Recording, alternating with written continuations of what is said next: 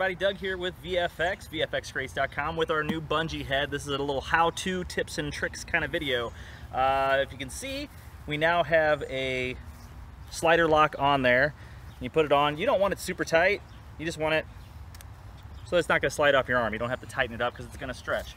So, the bungee cord, it's a pretty tight bungee, but the way I do it is I learned to bowl long time ago and yo-yo. That's kind of how I came up with the motion for doing this. So I do it, I palm the back of the head. If you don't have a big hand, I'll show you another way to do it. Um, you can palm the back of the head, you take it, throw it out, and you're pulling it back as it goes out. I'll do it sideways too so you can kind of see this. So when you throw it out, as soon as it's out, pull your wrist back so that it's going out there and you're actually getting it to snap back for you. Um, the other way you can do it is two-hand it. You can granny toss to people, say, hey, catch this. You're doing the same thing. As soon as it goes out, you're pulling your arm back. Do it sideways for you. So it gets that snap. So you gotta have way for it to bungee and snap back for you.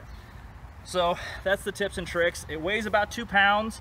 Uh, you always want to make sure you're far enough away from your subject. We say about 10 feet because your arm's going to have part of the length on it. So you got three to four foot bungee with a stretch and your arm goes pretty far.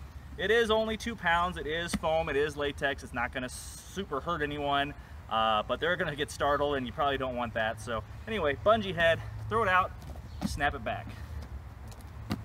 And that's it. Bungee heads.